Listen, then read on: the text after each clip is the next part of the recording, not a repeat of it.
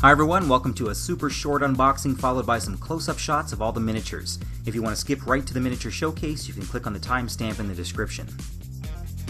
This is the box of extra miniatures from the Green Horde Kickstarter, but of course they're all compatible with Black Plague and Massive Darkness as well.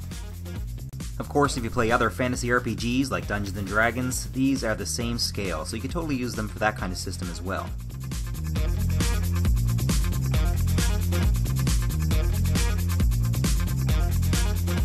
One neat addition that I really liked was a book of character art for the monsters, handy if you like to use the artwork as a reference when painting.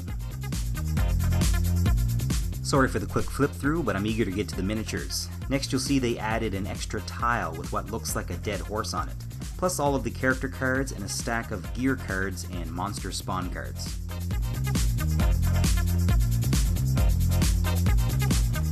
Now any of the green miniatures that you see are just extra copies of all the different zombie types that you find in the core game, so I won't be putting those in the final showcase. Everything else is new and original to this particular Kickstarter.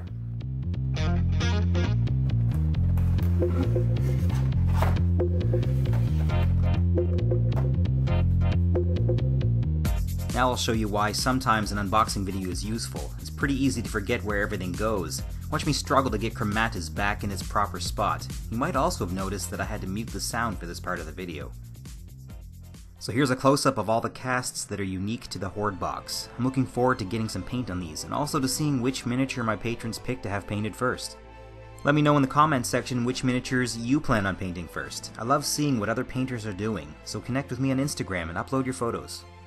I hope you found this video useful and thank you for watching.